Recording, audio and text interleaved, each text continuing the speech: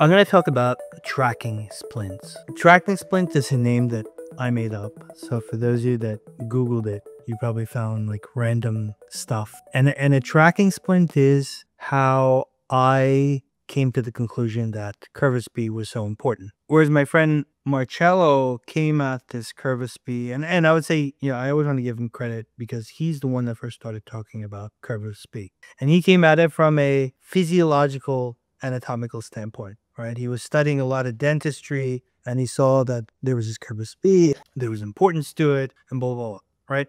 And at first, when he was telling me, like, it did sounded like mumbo jumbo, right? And it wasn't until a bit later on that I really took him seriously because I was seeing that I was drilling a curve into these tracking splints that I was making. And today I'm going to explain what I mean. What is a tracking splint? A tracking splint, you need a lower base splint. I used to have dentists in Vietnam make them make me an Essex retainer, and then I would add dental resin on top because I had cold curing dental resin that I'd bought in Vietnam, and I got pretty good with it. So I would buy these retainers and then put the resin on top. You could just buy a lower acrylic resin mouth guard. Like they're not cheap though, especially in the US. What I would do then is I would drill the contacts of my back four teeth even. The way I, how did I come up with this idea of doing this? So it wasn't my idea. I had a dentist in early 2016 who was an ALF dentist who, was, who would give me a, a flat splint and basically told like with him it was i think contacts on my just on my last tooth but i was supposed to drill them even on the left and right side of the of the flat plane splint that he gave me and then like i was never one to just, you know, do what they tell me. I would just start experimenting and I was drilling, you know, the back four teeth even. So basically like you're taking the splint, using acrylic paper, which is like this ink paper, putting it in as you got the splint on, biting on it, and then checking if the contacts for the last four teeth are relatively even. If one of them is not even, you got to drill the other ones and then you bite again on the acrylic paper and you see if all four show up, right? So once all four show up, you know that the way that your upper teeth make contact with the lower splints, you know, like the, the lower splint essentially represents the shape of the back upper teeth, right? Or your curve of Spee. So then I was doing experiments. So I was into mewing back then, so I would do some mewing or myofunctional exercises. And I would realize that if I did them even for 20 minutes and then I put articulating paper back in my mouth and bit, some of the spots on the splint disappeared and other ones got heavy. So that basically says that your occlusion changed, how your upper and lower teeth come together changed, which can be a function of many things, like your jaw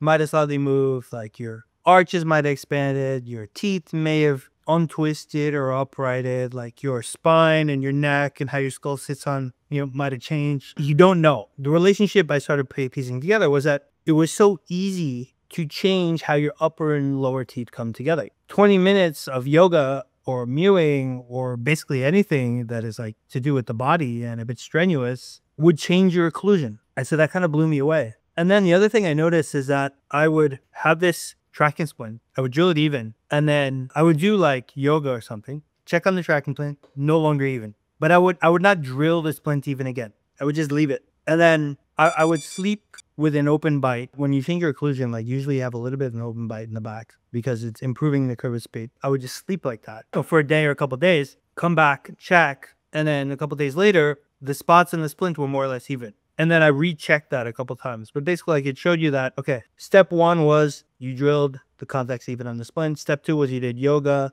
Step three is you checked for the contacts after yoga. They changed and it was no longer even. Step four was you slept without adjusting the splint. And then a couple days later, all the contacts were even again, right? So what you can logically conclude from that is that if you do yoga, it probably improves your spine, right? Because the context changed, right? So or something structurally changed and improved most likely because you're doing yoga.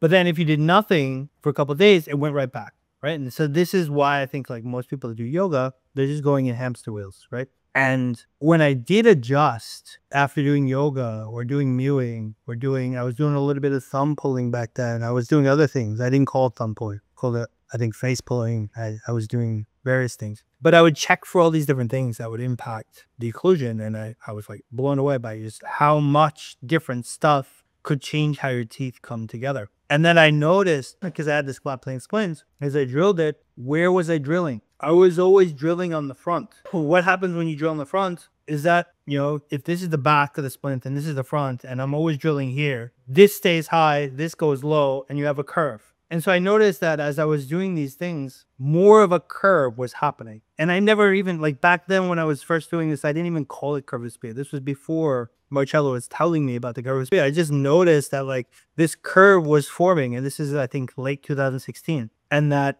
if I slept with this open bite without wearing like a flat plane splint or a mouth guard, then it would flatten again. And so if I checked my contacts again, they would be heavy on the back. And so if I slept with an open bite, I'd be drilling the back of the splint rather than the front. And so if you did that, this thing is getting flatter. So I kind of had this relationship in my head in 2016 because of these experiments I was doing. And then I think it was 17 that Marcello started telling me about the curve of Spee. And I started piecing together, oh, like actually that's legit because, you know, what I was doing with this flat plane splint, they started to have more of a curve. And apparently like you're, you know, if you're healthy, there's supposed to be this curve. Tracking splints essentially shows you that hmm, when you do things that stretch the spine, more of a curve happens, right? But if you leave without any support and sleep like that for a couple of days, everything reverts. But then I also had a MyoBrace A1 ever since early 2016, and I was sleeping with it sometimes. And I noticed that if I slept with this MyoBrace on, not only did things not revert, but things actually improved further. I would sleep with a MyoBrace on, and then I would be drilling the front of the splint again and creating even more curve. So I was like, oh, wow. So if I do yoga, the curve improves. Or if I just wear this MyoBrace to sleep, the curve also improves, right? So if I do both, if I do yoga and I drill the front, like it goes even faster, right? So that's why I say that things like yoga, mewing, thumb pulling, they all accelerate this process because they will improve the curve if you're using a tracking splint. That year, I think it was late 16, I would have two different splints and I would run all these experiments. I would have a tracking splint, which I didn't actually wear. And this is important to distinguish. It's like the tracking splint has a curve that represents the curve of the upper teeth. But if you wear a tracking splint, it kind of holds your jaw in a certain position because like all four teeth are making contact along this plane. I found it much better to just wear a different splint that had a flat contact only on one tooth, which is what my dentist had told me to do anyway. And so on that one, I was testing all kinds of experiments because it was, you know, sometimes I would contact on the left and then the right and then contact on both. And then I would change and maybe have the contact on the front. And I noticed that I'd wear that one. Let's call that tracking splint number one. Tracking splint number two, I would not wear. It just like, I would just adjust it. So I would put it on and I would do these adjustments to so that it reflected the plane. And so I would see what changed the plane, right? And so I noticed that it didn't matter what I did, like contact on the left, right, even whatever, like all those things just improve this curve for Spee regardless. And it also showed me like the other thing I was testing is I was using an indexed splint for a while. So like with tracking splint number one, or no, so with splint number one, sometimes an index it, meaning I'd bite into this resin, imprint the teeth in a single position to see what the impact on the tracking splint was. And it was kind of like random. Like sometimes it would get seemingly get a little bit better, and then sometimes it gets seemingly a little bit worse. And that's also how I figured out that locking a single bite is a bad idea. Like you go in circles, it doesn't improve you. It probably even makes you worse, which is also what Marcello concluded, I think, sometime in 2017. And so all of this became a lot clearer when you